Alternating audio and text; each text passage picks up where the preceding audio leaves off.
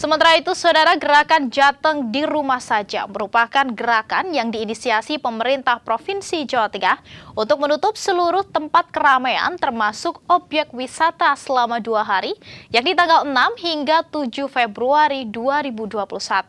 Meski merugi, namun objek wisata harus mentaati surat edaran dari Gubernur Jawa Tengah tentang peningkatan kedisiplinan dan pengetatan protokol kesehatan pada pemberlakuan pembatasan kegiatan masyarakat tahap kedua di Jawa Tengah. Tengah.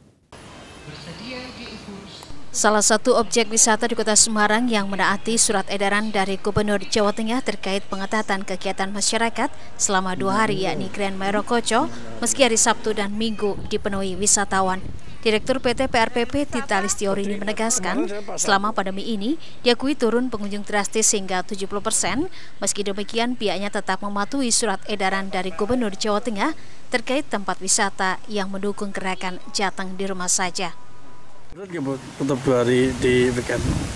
Ya sebetulnya berat, tetapi ya bagaimana lagi karena ini uh, apa ada hal yang lebih besar yang harus kita laksanakan tapi cukup efektif mbak untuk ya uh, harus dicoba. Untuk tahu tahu efektif dan tidak harus dicoba. Hmm. gitu. Bu ya. sudah dapat surat edaran dari dinas pariwisata? Ya sudah sudah. Hmm. dan uh, apa namanya daya tarik wisata. Yang saya tahu daya tarik wisata uh, apa di kota Semarang sepakat untuk tutup untuk mensiasati agar kerugian yang ditanggung tidak terlalu besar, pihak pengelola tempat wisata Grand Merokoco Kota Semarang akan mengadakan event namun tetap menaati protokol kesehatan. Dan untuk meningkatkan jumlah pengunjung pada situasi pandemi COVID-19, pihaknya akan memperhatikan tiga aspek utama yakni rasa aman, sehat, dan nyaman.